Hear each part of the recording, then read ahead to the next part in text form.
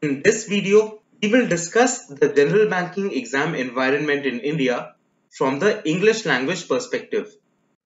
All major banking exams focus on judging the candidate's knowledge of the English language.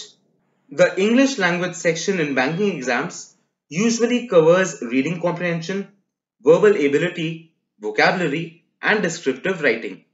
As this book has been developed after a thorough research based on the syllabus and patterns of various banking exams, it will prove to be a great resource for you. Let us discuss the pattern of the English language section of different banking exams. In IBPS PO prelims and IBPS clerk prelims, 30 questions of total 30 marks are asked. In IBPS PO mains and IBPS clerk mains, 40 questions of total 40 marks are asked. Similarly, in SBI clerk prelims and mains, 30 and 40 questions are asked respectively. However, in SBI PO prelims and mains, 30 and 35 questions are asked respectively. On the other hand, 40 questions of total 40 marks are asked in the RBI assistant exams. In RBI grade B phase 1 exam, it comprises of 30 questions. You are now well aware of the pattern of the English language section of major banking exams held in India.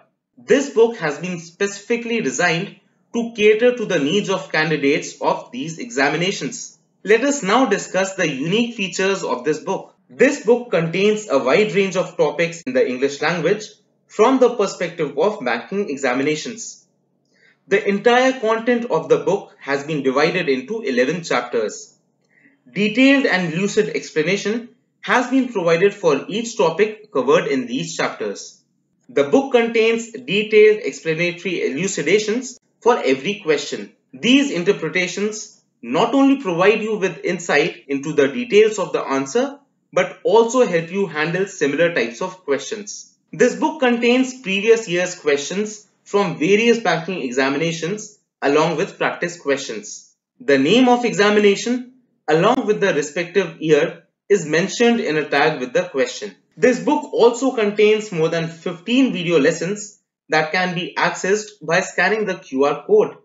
These video lessons will help you learn the given concepts in a better manner.